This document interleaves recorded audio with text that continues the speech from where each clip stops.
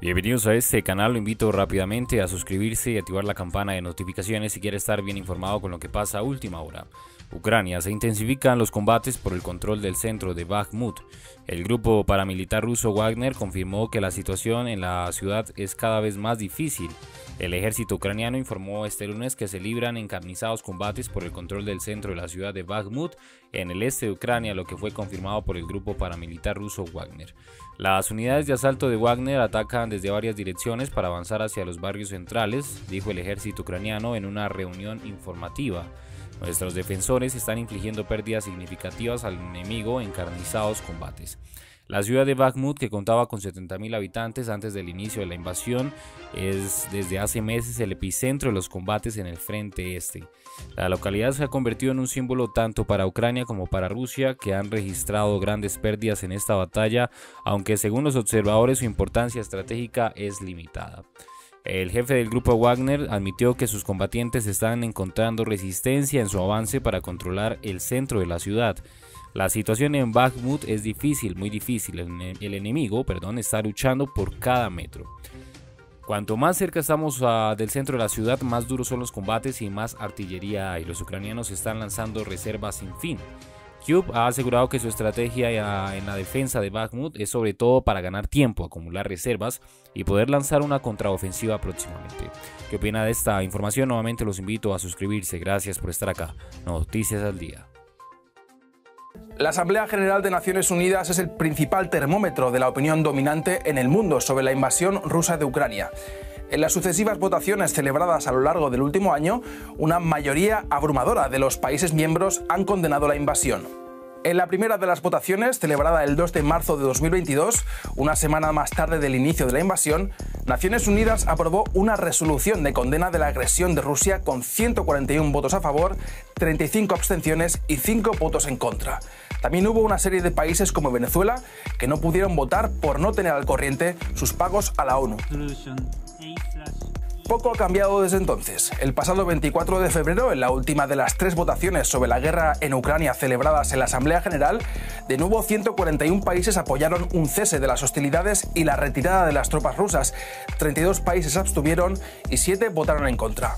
Pero, ¿representan esos votos realmente la posición diplomática de los estados respecto a la invasión y la guerra? Un análisis de la Economist Intelligence Unit muestra un panorama bastante más matizado y complejo atendiendo al apoyo efectivo de las sanciones impulsadas por Occidente contra Rusia y las relaciones diplomáticas con el Kremlin, el estudio clasifica a los estados en cinco grandes grupos.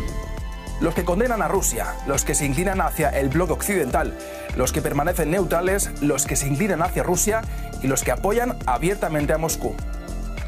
Es decir, casi un tercio de la población mundial vive en estados con una posición neutral, más de un 30% en estados que apoyan o se inclinan hacia Rusia y un 36% en estados que condenan a Rusia y apoyan las sanciones contra su economía.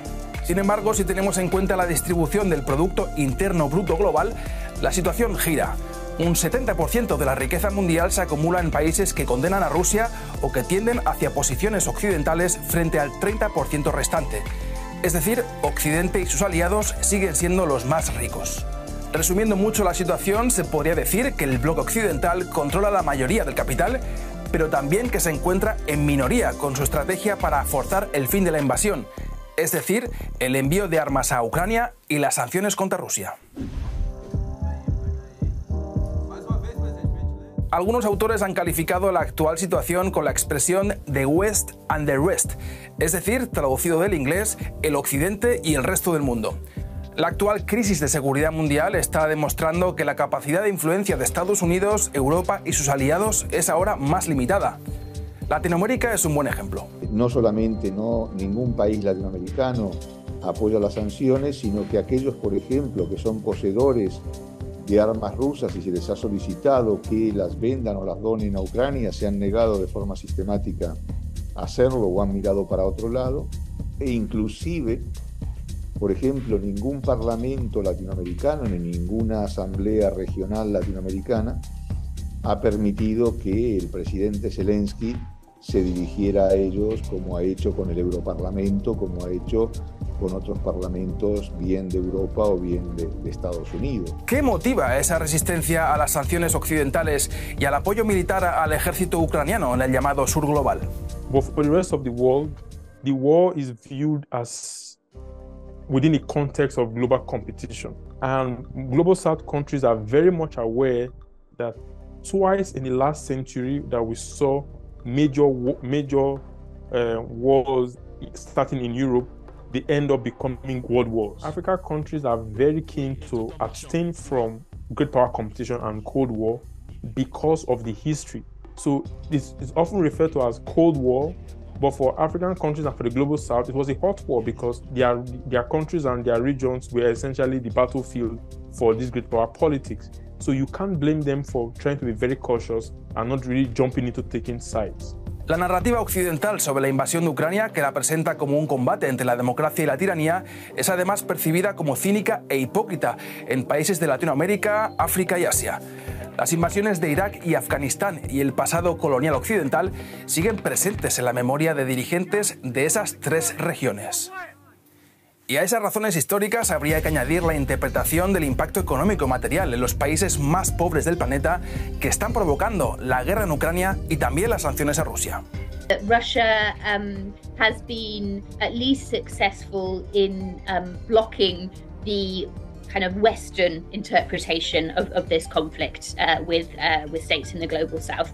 I think it has been relatively successful too in um, putting doubt into the minds of political leaders in states in the global South about whether the economic consequences that they have been suffering um, in, in the past year of the conflict, so rising energy prices, food, food, uh, food supply issues, sorry, um, and so on are a result of the conflict itself or whether they are a result of the European and American response to that conflict. So I think Russia's success has been to argue that um, these issues are as much about the sanctions that Western powers have put in place as they are about the conflict itself. Estas alturas está bastante claro que el orden mundial nacido tras el fin de la Guerra Fría y liderado por el bloque occidental con su modelo de democracia liberal y su economía de libre mercado ha llegado a su fin.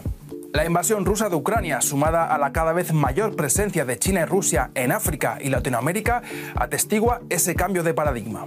El mundo se dirige, por tanto, hacia un orden multipolar o tal vez incluso hacia una bipolaridad como la vivida durante la Guerra Fría, protagonizada esta vez por Estados Unidos y China. Estados Unidos, la Unión Europea y sus aliados históricos intentan ahora resituarse en un tablero internacional en reordenamiento que algunos han descrito como desorden global. En este nuevo contexto, ¿qué puede hacer Occidente para convertir en más atractiva su oferta para los países del llamado sur global? So the first thing that we should do is stop thinking in terms of the global south. We should think in terms of the individualized partnerships with, with different countries and understand what the set of interests are in any given relationship and how we can relate to those.